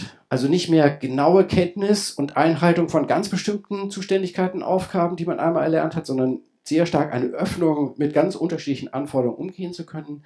Die Teambasierung, also nicht nur die Orientierung auf die Technik, sondern auch die Orientierung auf äh, die Zusammenarbeit mit anderen Menschen, die Eigenverantwortlichkeit für die eigene Tätigkeit und die Vollständigkeit der Aufgabe. Ähm, Vollständigkeit ich gehe da wahrscheinlich verschiedentlich noch drauf ein und Sie werden es hoffentlich äh, auch äh, äh, irgendwann sehr intensiv übernehmen, bedeutet eben die Zusammenführung von Planung, Ausführung, Kontrolle. Also das, was in dem äh, auf das menschliche Lernen lernbezogenen Teil als dem menschlichen Zugang zur Wirklichkeit entsprechender Vorgang äh, beschrieben worden ist.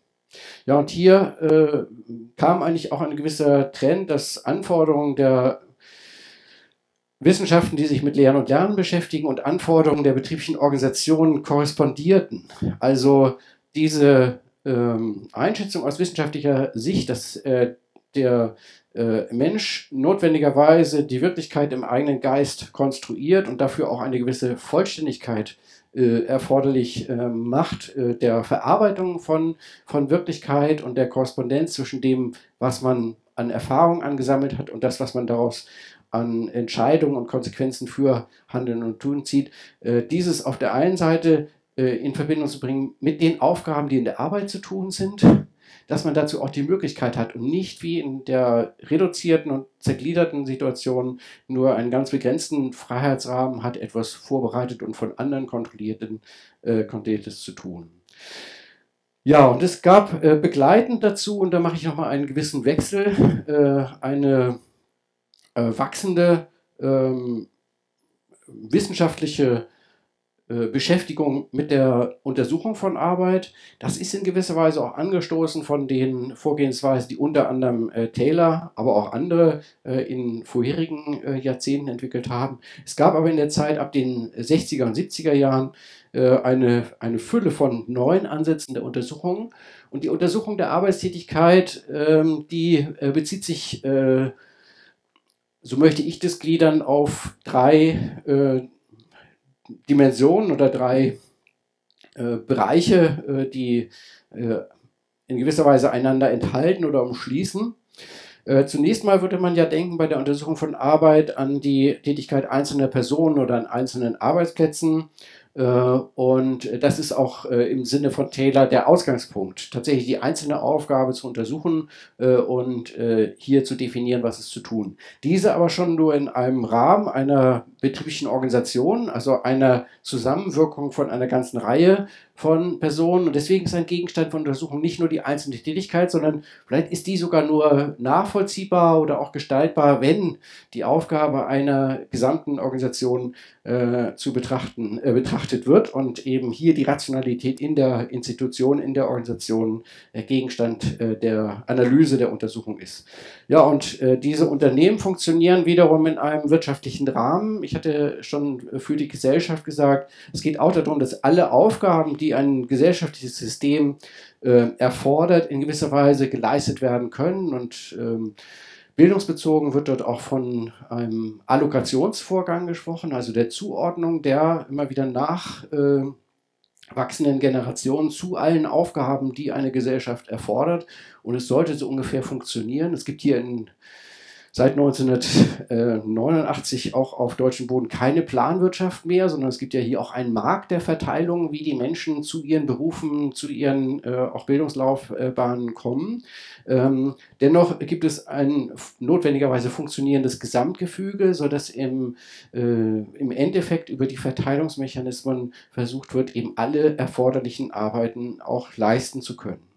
Ja, und da möchte ich noch ganz kurz über diese drei Ebenen, äh, die momentane Situation äh, der, der Anforderungen in Arbeit und Beruf äh, beleuchten. Und es äh, wechselt jetzt etwas, aber es greift auch nochmal wieder etwas auf, was ich in dem äh, Geschichtsbeitrag ähm, angesprochen habe, nämlich die Entwicklung, die mit der Abbildung von Furasti ähm, ja, schematisch äh, dargestellt wird, nämlich die Veränderung äh, der Menschen, äh, der, äh, der Anzahl der Menschen in den verschiedenen ähm, Bereichen der Wirtschaft und der Betätigung. Und hier ist jetzt eine Abbildung, die aus dem Statistischen Jahrbuch äh, stammt. Äh, die, das Statistische Bundesamt, was eben jedes Jahr auch eine Veröffentlichung zu der Entwicklung der quantitativen ähm, Situation in Deutschland darstellt. Und das ist sozusagen die Gesellschaft, die Gesamtperspektive. Das Statistische Bundesamt ist dafür nicht die einzige Quelle, aber es ist eine Quelle, äh, bei der es Sinn macht, sie zu beachten. Ist übrigens inzwischen auch, man kann es auch gedruckt erwerben, aber ich denke mal, dass ein Großteil derjenigen, die in das Statistische Jahrbuch hineingucken, das über die online bereitgestellte Version macht. Sie können sich das also unentgeltlich äh, laden, Jahr für Jahr. Sie können es äh, miteinander vergleichen. Und es ist ein hochseriöses, hochoffizielles Dokument. Also es ist nicht deswegen, weil es im Internet äh, downgeloadet werden kann, irgendwie äh, zweifelhaft, sondern das ist eigentlich die inzwischen auch seit vielen Jahren schon etablierte Form der Veröffentlichung und damit auch eine seriöse Quelle. Sie ist zum Teil oder zum wesentlichen Teil ein Zahlenwerk, aber es gibt auch immer wieder zusammenfassende Abbildungen. Davon würde ich jetzt gerne einige zeigen, die so den Anschluss äh, der Entwicklung, was die gesamtgesellschaftliche Aufgabenstellung angeht, äh, beleuchtet. Zunächst mal ist hier mit einem Ausgangspunkt äh, von 100 auf dem Jahr 1991 äh, der Verlauf des Rückgangs oder der, des Wachstums von Wirtschaftsbereichen gesprochen. Und Wirtschaftsbereiche sind hier der Bereich der Land- und Forstwirtschaft und der Fischerei, der primäre Bereich, hatte ich ja gesagt. Ich hatte primärer Sektor gesagt. Ähm, und ähm, des produzierenden Gewerbes und des Dienstleistungsbereiches da ist meine Aufforderung, wenn Sie mit solchen Begriffen begegnen, solchen Begriffen umgehen, gucken Sie sich auch die jeweilige Definition, äh, zum Beispiel hier im Statistischen Bundesamt an. Zum Teil differieren sie auch zwischen offiziellen Organisationen, deswegen ist es notwendig, äh, hier äh, sich äh, klarzumachen, welches Verständnis hier jetzt der Begriff Wirtschaftsbereich hat. Auf jeden Fall ist ja auch seit 1991 ein Rückgang äh, in Deutschland weiterhin äh, des Bereichs der Land- und Forstwirtschaft und auch des produzierenden Gewerbes zu erkennen und ein kontinuierliches Wachstum des Dienstleistungsbereiches. Ja, und das äh, jetzt ähm, auf Wirtschaftssektoren übertragen und die sind eben dann als primärer Sektor, sekundärer Sektor und tertiärer Sektor bezeichnet. Und da zeigt sich eben das gleiche Bild jetzt hier in einem äh, Säulen, in einer Säulendarstellung, also äh, die Erwerbstätigen, jetzt hier also nicht der, der Umsatz oder die Relevanz, äh, äh was die, das Bruttosozialprodukt angeht, sondern die Erwerbstätigen in diesen Bereichen zeigen, dass nur noch ein anderthalb Prozent der Menschen in dem primären Sektor tätig sind in Deutschland. Also wirklich ein Randbereich. Dass auch der sekundäre Sektor, also der rein produzierende Sektor, nur noch ein knappes Viertel der Menschen beschäftigt und dass der über äh, bedeutend relevante äh, der tertiäre Sektor ist, der deswegen auch häufig schon inzwischen äh, in einen weiteren quartären Sektor mit ähm, ähm, gegliedert wird. Ja, und wenn Sie auch wiederum aus dem statistischen Jahrbuch äh, die äh, Gliederung der äh, Erwerbstätigen nach Erwerbsform betrachten, und da ist es so, dass es jetzt wiederum begrifflich eine Differenzierung gibt. Es gibt die Erwerbspersonen, das wäre also die Gesamtheit äh, der Erwachsenen in einer äh, bestimmten ähm, Spanne äh, des Lebens, nämlich, soweit ich weiß, zwischen 18 und 65. Und dafür, da gibt es wieder die Erwerbstätigen, die also entweder ähm, in ähm, abhängig im, als Normalarbeitnehmer, zum Beispiel in einem abhängigen Arbeitsverhältnis sind, selbstständig sind oder als atypische Beschäftigte äh, die sind. Und Sie können hier sehen, dass äh, im äh, Verlauf von 1991 bis 2015 äh, zu 1991 noch ungefähr 80 Prozent, die in einem Normalarbeitsverhältnis äh, äh, tätig waren, ein Rückgang auf jetzt noch äh, knapp 70 Prozent äh, und davor ein, ein, Wachstum der atypisch Beschäftigten und aber auch äh, ein kleineres Wachstum der Selbstständigen, wobei das oft sehr, sehr kleine Unternehmen sind, also die Ich-AGs, äh, die hier an Zahl, Anzahl gewachsen sind. Und die ähm, Grundlage des Lebensunterhaltes bei der Bevölkerung und auch hier ist eine Gegenüberstellung äh, der äh, Zeit jetzt von 2005 bis zum Erscheinen des Berichtes 2016. Ich denke, es sind Zahlen ja hier von 2015, die hier verwendet worden sind. Und es ist also einerseits ein Wachstum nochmal wieder der Erwerbstätigkeit an der, dem Erwerbspersonenanteil überhaupt. Es ist ein äh, Rückgang äh, der Arbeitslosigkeit und ähm, es gibt ähm, auch einen starken Rückgang äh, der Kategorie, die als Angehörige äh, Erwerbspersonen hier äh, geführt werden. Ja, und wenn Sie dann in die äh, einzelnen Wirtschaftsbereiche gehen und die Frage, wie die äh, Erwerbstätigkeit nach Wirtschaftsbereichen äh, zu organisieren sind, dann finden Sie hier weiter differenziert ähm, die eben äh, Umsetzung äh, der ähm, Tätigen im produzierenden Gewerbe, im Baugewerbe, Handel, äh, Information, Kommunikation, Finanzierung Immobilien, öffentliche Dienstleister und sonstige Dienstleister. Dieser Vorgang der Tertiarisierung, den ich für die Gesamtgesellschaft mit dem Verweis auf Forasti hier in die äh, Präsentation einbringe, durchdringt wiederum auch die äh, gesamte äh, Tätigkeit und gewisserweise auch äh, die Bildung. Sie haben nicht nur diese Wirtschaftsbereiche und Wirtschaftssektoren, die sich entsprechend verändern, sie haben, auch wenn sie in die einzelnen Unternehmen gehen, bei den Belegschaften eine Veränderung, dass früher auch produzierende Unternehmen sehr viel höhere Anteile innerhalb ihrer Mitarbeiterschaft im Produktionsbereich hatten, gegenüber heute auch innerhalb der Unternehmen erleben sie eine Tertiarisierung, dass der Anteil der Menschen, die auch in einem Produktionsunternehmen mit Dienstleistungsaufgaben zu tun haben, gewachsen ist. Und sie haben über die Dezentralisierung der Verantwortung auch eine Intensivierung der dienstleistenden Arbeitsanteile selbst in produzierenden Tätigkeiten. Das heißt, wenn Sie als Handwerker tätig sind, ob jetzt als Tischler oder äh, als äh, in, eine, in einem Textilhandwerk, dann haben sie inzwischen erhebliche Anteile, die nicht nur die Handtätigkeit enthalten, sondern die auch das Planen der eigenen Arbeit, äh, das Verhandeln, das äh, Sprechen mit Kunden und Kollegen enthält, die diese dienstleistenden Elemente enthält. Insofern können sie eigentlich in gewisser Weise die Strukturierung, die sich entwickelt haben, auf die Gesamtgesellschaft bis in die einzelne äh, Arbeitstätigkeit hinein ähm, durchdeklinieren. Und es gibt dann immer wieder Darstellungen, und das ist wiederum auch sehr deutsch, äh, der Gesamtsituation, sogenannte Klassifikationssysteme. Und man muss die in gewisser Weise regelmäßig ändern, weil äh, die Zusammensetzung dessen, was über äh, viele Jahre ähm, geeignet war, ähm, äh, die Zusammensetzung dessen, das äh, über viele Jahre gültig war, äh, verändert sich, sodass man dann immer wieder auch not, notwendigerweise die Gliederung der Berufe, der Bezeichnung, der Klassifizierung anpassen muss. Und hier gibt es eine Klassifikation, die seit 2010 gültig ist die, soweit ich weiß, ungefähr fünf Jahre Vorbereitung äh, in Anspruch genommen hat und die äh, die Tätigkeiten, die Berufe in Deutschland äh, in äh, zehn Kategorien äh, gliedert. Ich gehe da nicht so äh, sehr viel weiter darauf ein, aber Sie finden hier eine Fortsetzung der sowohl disziplinären wie auch berufsbildungsbezogenen Zergliederung ähm, der Bildung in unterschiedliche ähm, dann Teile, die für sich äh, vollständig, vollständige Berufe ähm, bilden.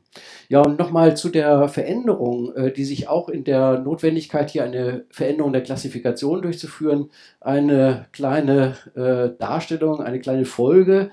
Äh, Sie haben hier Berufsfelder aufgelistet, die verwendet wurden, um die Gliederung in der Gesamtgesellschaft in Deutschland zu erfassen. Und Sie können bezogen auf, das ist jetzt 1999, ähm, Relevanzen ansehen. Sie sehen dort schon, äh, dass die Verwaltungsbüro- und Wirtschaftsberufe die große Berufsgruppe sind.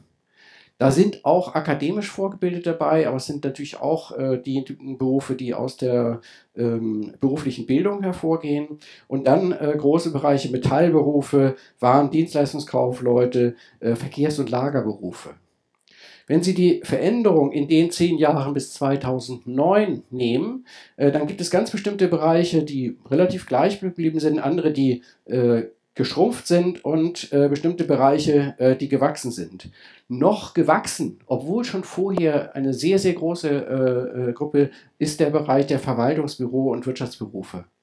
Und ähm, weiter zurückgegangen ist äh, der primäre Sektor, äh, die Agrarberufe und die Grünberufe. Ich will jetzt nicht unbedingt äh, hier als zwingend annehmen, dass diese Trends end, endlos weitergehen, aber es ist doch äh, hier aus, dem, aus der Entwicklung in der Gesamtheit äh, auch über viele Jahre äh, einiges an länger laufenden Entwicklungen abzulesen.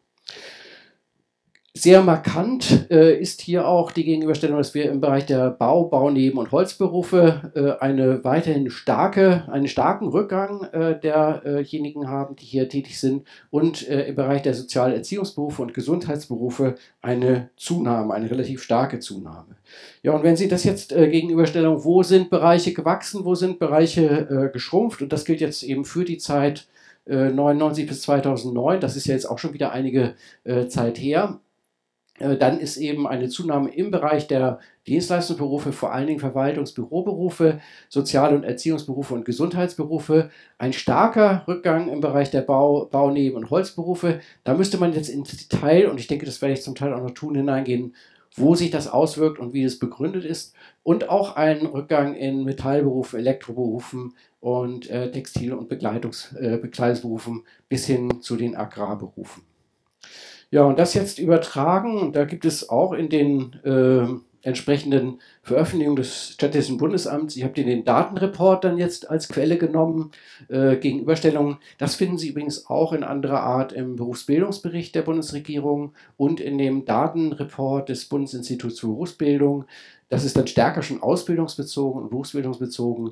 Ähm, die hier äh, zehn am stärksten besetzten Berufe, da würde man übrigens ja annehmen, dass sich das auch stark wandelt. Äh, das ist aber weniger schnell auf jeden Fall der Fall, als man äh, zunächst mal annehmen mag. Es gibt also eine über die Jahrzehnte verbleibende große Bestrebung der jungen Menschen zu ganz bestimmten Berufen. Und dieses verändert sich offenbar langsamer, als man angesichts der Veränderungen der Wirtschaft äh, annehmen würde oder auch für sinnvoll halten würde.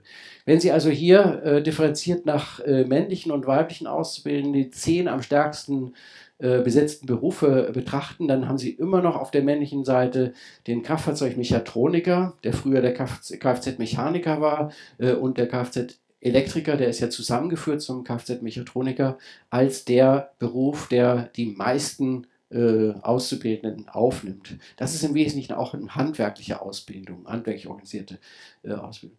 Dann als zweite der Industriemechaniker, Elektroniker und wenn Sie weiter runtergehen, dann kommen diese neuen Berufe Fachinformatiker und Mechatroniker, die mit ganz starker Betonung auf die sich verändernden äh, äh Berufsentwicklungen ähm, auch definiert worden sind, gebildet worden sind hier ein, weiterhin auch ein, ein Wachstum, also bei den Fachinformatikern von ungefähr 19.000 auf jetzt knapp äh, 25.000, nee, äh, bei den Fachinformatikern von knapp 19.000 auf gut 26.000 äh, im Jahr 2014 und bei den Mechatronikern von gut 20.000 auf knapp 25.000. Aber sie sind noch nicht die stärksten. Es bleibt weiterhin, obwohl rückläufig, der Kfz-Mechatroniker äh, einer der dominanten Berufe. Und wenn Sie auf die Berufe äh, bei den äh, jungen Frauen äh, blicken, dann haben Sie einen äh, großen ähm, Anteil von ähm, Kaufleuten sozusagen, Kauffrauen im Büromanagement, im Einzelhandel, im Industriebereich bis hin zur Bankkauffrau und der Kauffrau im großen Einzelhandel sind fünf Ausbildungen zu Kauffrauenberufen äh, die äh, häufigst gewählten. Äh, dann ein Beruf, der immer noch stark ist und der äh, traditionell oft genannt wird in dem Rahmen, äh, der, äh, die Friseurin, die allerdings in den zehn Jahren einen starken Rückgang von 37.000 auf gut 20.000 Auszubildende erlebt hat, aber dennoch unter den ähm, zehn häufigst äh, gewählten Berufen. Also auch hier ein, ein Veränderungsprozess, ein Wandlungsprozess, äh, der zwar langsamer verläuft und was ja wieder wesentlich ist, und das ist jetzt ein anderer Blick, den Sie äh, über das Statistische Bundesamt auf die Gesamtsituation werfen können, welche Tätigkeiten werden denn anschließend abgefordert? Also die Abstimmung zwischen Bildungs- und Beschäftigungsmarkt. Das ist ja eine Aufgabe, die hier nicht über Planung in Deutschland läuft, sondern über eine Allokation, die über äh, Marktkräfte erfolgt. Und natürlich diese Allokation findet nicht getrennt zwischen Ausbildungsbereich und akademischen Bildungsbereich statt, sondern diese berühren sich mehr und mehr. Äh, und die Frage ist, diese Personen, die äh, später Beschäftigung finden, die tätig sind in verschiedenen Bereichen, inwieweit stimmt denn diese Relation dessen, was an Ausbildung, an, an Studiengebieten angeboten wird? Das ist eine, eine hochkomplexe Thematik. Es gibt eine gewisse Absicht, äh, die Vorbereitung auf die Erwerbstätigkeit in sinnvoller Weise auch quantitativ anzulegen, äh, sodass die Arbeitskräfte, die Fachkräfte, nach denen Bedarf steht, auch aus dem Bildungssystem hervorgehen.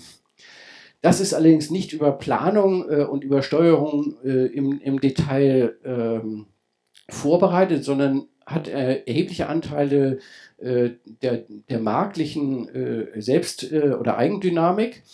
Ähm, aber im Endeffekt gibt es natürlich doch eine wechselseitige äh, Beeinflussung. Und wenn Sie hier äh, die Darstellung, die im Datenreport ähm, äh, enthalten ist, auch mal jetzt die Erwerbstätigen betrachten und da auch wieder getrennt nach Männern und Frauen in den zehn am stärksten besetzten Berufen, so haben Sie hier unter den ähm, großen Gruppen äh, bei Männern Maschinenbau und Betriebstechnik als äh, immer noch ein Bereich, der sehr, sehr viele äh, Erwerbstätige ähm, beschäftigt beruflich. Äh, dann der Bereich Lagerwirtschaft, äh, Zustellung, äh, Güterumschlag, also Transportwesen. der Bereich Unternehmensorganisation und Strategie, ein Bereich, der stark gewachsen ist. Übrigens auch der Transportwesenbereich ist stark gewachsen. Fahrzeugführung im Straßenverkehr, auch ein gewachsener Bereich. Fahrzeug, Luft, äh, Raumfahrt und Schiffbautechnik als ein weiterer Bereich Elektrotechnik. Also Sie finden hier eine Fülle immer noch auch von technischen äh, Tätigkeiten, die die großen Gruppen ähm, äh, darstellen, in denen in Deutschland 2014 hier Männer tätig sind. Und betracht, äh, betrachtet auf Frauen, ohne dass jetzt diese Zuordnung in irgendeiner Weise ähm, sozusagen äh, sich selbst verstetigen sollte, sondern einfach um die, die Sachverhalte darzustellen. Büro und Sekretariat, äh, der größte Bereich mit äh, anderthalb, gut anderthalb Millionen äh, Menschen, die hier zuzuordnen sind. Ähm, die Erziehung, Sozialarbeit, Heilerziehungspflege äh, als ein nachfolgender Bereich. Diese Zuordnung da wäre natürlich eigentlich die Annahme, dass sich diese beiden Systeme, also Bildungssystem, Beschäftigungssystem, zumindest wechselseitig wahrnehmen das Aufeinander zuführen hat in der Vergangenheit, auch dort, wo es versucht wurde, immer wieder zu Problemen geführt, weil es eben hier einen erheblichen Versatz gibt äh, zwischen der Einflussnahme zum Beispiel auf die Bildung und die Entscheidung in Richtung eines, einer Ausbildung oder eines Studiums und die Zeit, wann man dann auf den Arbeitsmarkt äh, drängt sozusagen. Dazwischen sind oft zwischen fünf und zehn Jahre, also bis eben die entsprechenden dann rekrutierten Personen ihre Ausbildung, der Studium abgeschlossen haben und wirklich auf dem Arbeitsmarkt sind. Und in dieser Zeit wirken sich wiederum Konjunkturen aus, möglicherweise auch Veränderungen der Märkte, die dann Nachfrage- und Angebotssituationen verändert haben äh, zu der Zeit, in der bestimmte Empfehlungen abgegeben worden sind. Deswegen tut man sich inzwischen sehr schwer zu empfehlen, machen Sie eine Ausbildung in dieser Richtung oder machen Sie ein Studium in jener Richtung, äh, weil äh, aus der Erfahrung heraus diese Empfehlungen äh, ganz stark äh, daneben liegen konnten und auch oftmals Investitionen äh, ausgelöst haben, die dann äh, Menschen auch in gewisser Weise in die Irre geführt haben. Dennoch für die äh, Darstellung äh, des äh, gesamten, der Gesamtges des gesamtgesellschaftlichen Bereichs ist es äh, notwendig, äh, die Relevanz der einzelnen Tätigkeiten, der einzelnen Berufe äh, einschätzen zu können und dann auch in Relation äh, die Relevanz der Ausbildung, des Angebotes an Ausbildung und äh, des Angebotes letztendlich auch an Studienmöglichkeiten zu betrachten. Und in der Summe für äh, das, was ich Ihnen heute hier so auch jetzt ziemlich im Schnelldurchlauf äh, äh, anbiete, äh, gesagt, es gibt eben äh, für die Entwicklung äh, der Arbeitstätigkeit Vorgänge, die sozusagen strukturell verlaufen. Dafür habe ich einige genannt, die vor allen Dingen die Ablösung des Taylorismus in der letzten Phase des 20. Jahrhunderts und eben das Aufkommen der Stärke auf Eigenverantwortung, Teamarbeit des Menschen, computerbasiert, mit Computer ähm, Vernetzung und zunehmend auch einer Virtualisierung beinhalten. Und sie haben dann drei Ebenen, davon habe ich jetzt die erste Ebene angesprochen, nämlich die gesamtgesellschaftliche Ebene. Also wie verteilen sich die Menschen auf die äh, zu tunende äh, Arbeit? Und äh, die zweite Ebene und die dritte Ebene, auf die ich nächstes Mal eingehen werde, äh, wie bedeutet, wie verändert sich dieses in einer betrieblichen oder auch institutionellen Organisation? Und als dritten Schritt, wie wirkt es sich in der konkreten Arbeitstätigkeit aus? Diese Beschreibungen von Arbeit sind wieder erforderlich, um dann abzuleiten, wie eine entsprechende Bildung, ein Lehren und Lernen als Vorbereitung auf eine bestimmte Tätigkeit oder auf einen bestimmten Beruf aussehen soll. Und deswegen sind es aus meiner Sicht notwendige Hinführungen. Ich kann Ihnen hier nur einige Aspekte anbieten, äh, um eben zu begründen, wie wir dann später Entscheidungen treffen, was die Didaktik angeht. Und meine Anregung und ein bisschen auch meine Aufforderung ist, dass Sie da nach eigenem Interesse vertiefen oder auch einfach mal reingucken in die, in die Werke, sich selber orientieren. Ich kenne die auch nicht alle auswendig. Ich gucke da auch immer wieder neugierig herein, wenn etwas äh, erscheint. Äh, aber die Orientierung in diesen Datenbeständen, auch in diesen Hintergrundinformationen ist erforderlich, wenn man verantwortlich als Didaktiker arbeiten will. Und ja, ich werde nächstes Mal das noch äh, hier wieder aufgreifen und vielleicht den ersten, die erste Passage der Vorlesung nutzen, um diese Betrachtung der Anforderungen aus der Arbeitstätigkeit abzuschließen, bevor ich dann in den vierten Teil, nämlich die theoretischen Ansätze für äh, die Didaktik übergehe. Ja, das war jetzt heute ziemlich äh, äh, ein Extrakt und auch sagen wir, relativ im, im Schnelltempo äh, durchgelaufen, aber es passt vielleicht auch zu dem Titel Arbeit, äh, dass man auch diese Themen eben sehr in einer ja, schnellen und rationellen Arbeitshaltung abarbeiten kann. Ich hoffe trotzdem, dass ich Ihnen ein paar Anregungen geben konnte und Sie einladen konnte, sich damit äh, vertieft zu beschäftigen. Danke für Ihre Aufmerksamkeit.